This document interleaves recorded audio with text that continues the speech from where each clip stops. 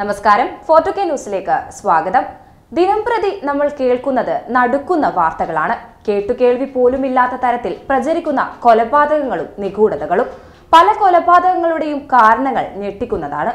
ഇപ്പോഴിതാ അത്തരത്തിലുള്ള ഒരു വാർത്തയാണ് കർണാടകയിൽ നിന്നും പുറത്തു വരുന്നത്. കർണാടകയിലെ ചിത്രദുർഗ ജില്ലയിൽ നാലു വർഷത്തോളമായി അടഞ്ഞുകിടന്ന വീട്ടിൽ നിന്ന് അഞ്ച് മനുഷ്യരുടെയും ഒരു വളർത്തുമൃഗത്തിന്റെയും അസ്ഥികൂടങ്ങൾ കണ്ടെത്തിയെന്ന വാർത്തയാണ് പുറത്തു വന്നത്. വീട്ടിൽ താമസിച്ചവരെന്ന് കരുതുന്ന കുടുംബാംഗങ്ങളുടെ അസ്ഥികൂടങ്ങളാണ് കണ്ടെടുത്തത്. അടഞ്ഞുകിടന്ന വീടിന്റെ ഗേറ്റ് തുറന്ന് മദ്യലഹരിയിൽ അകത്തു കയറിയ ആളാണ് അസ്ഥികൂടങ്ങൾ ആദ്യം കണ്ടത്. പേടിച്ച് നിലവിളിച്ച് പുറത്തേക്കോടിയ ഇദ്ദേഹം രണ്ടു ദിവസം കഴിഞ്ഞാണ് വിവരം പുറത്തു പറഞ്ഞത്.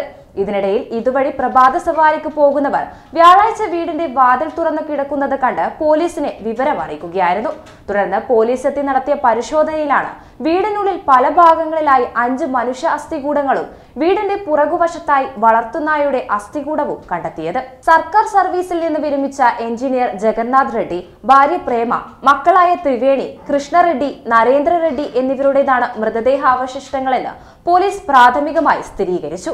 നാല് അസ്ഥികൂടങ്ങളിൽ രണ്ടെണ്ണം കിടപ്പുമുറിയിലെ കട്ടിലിലും മറ്റു രണ്ടെണ്ണം അതേ മുറിയിലെ തറയിലും കമഴ്ന്നു കിടന്ന നിലയിലായിരുന്നു.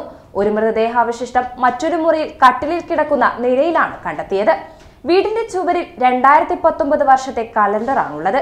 വീട്ടിലെ സാധനങ്ങൾ വലിച്ചു വാരിയിട്ട നിലയിലായിരുന്നു. പരിശോധനയിൽ ജഗന്നാഥ് എഴുതിയതെന്ന് കരുതുന്ന ആത്മഹത്യാക്കുറിപ്പ് വീട്ടിൽ നിന്ന് പോലീസിന് ലഭിച്ചിട്ടുണ്ട്. എന്നാൽ ഇത് അക്ഷരങ്ങൾ മാഞ്ഞുപോയ നിലയിലാണെന്ന് പോലീസ് അറിയിച്ചു. ഫോറൻസിക് പരിശോധനയ്ക്കായി മൃതദേഹങ്ങൾ വീട്ടിൽ നിന്ന് മാറ്റുകയും പോസ്റ്റ്മോർട്ടം നടപടികൾ ആരംഭിക്കുകയും ചെയ്തു. ബന്ധുക്കളിൽ നിന്ന് അകന്നു കഴിയുകയായിരുന്നു ജഗന്നാഥ് റെഡ്ഡിയും കുടുംബവും. പരിസരവാസികളുമായും ഇവർ ആശയവിനിമയം നടത്തിയിരുന്നില്ല. കഴിഞ്ഞ പത്ത് വർഷമായി ഏറ്റവും അടുത്ത ബന്ധുവുമായി പോലും ഇവർ ഫോണിൽ സംസാരിച്ചിട്ടില്ലെന്ന് ബന്ധുക്കൾ പോലീസിനോട് പറഞ്ഞു. മക്കൾ മൂന്നു പേരുടെയും വിവാഹം നടക്കാത്തതിനാൽ ജഗന്നാഥും ഭാര്യയും അതീവ ദുഃഖത്തിലായിരുന്നുവെന്നും കുടുംബത്തിന് വിഷാദരോഗമുണ്ടായിരുന്നുവെന്നും ബന്ധുക്കൾ പോലീസിന് മൊഴി നൽകിയിരുന്നു. ആരും ഫോൺ ചെയ്യുന്നതോ വീട് സന്ദർശിക്കുന്നതോ ജഗന്നാഥ് ഇഷ്ടപ്പെട്ടിരുന്നില്ല. അസുഖത്തിന് ചികിത്സ തേടാൻ സഹായം വാഗ്ദാനം ചെയ്തിരുന്നെങ്കിലും അത് നിരസിക്കുകയായിരുന്നുവെന്ന് ബന്ധുക്കൾ പറഞ്ഞു.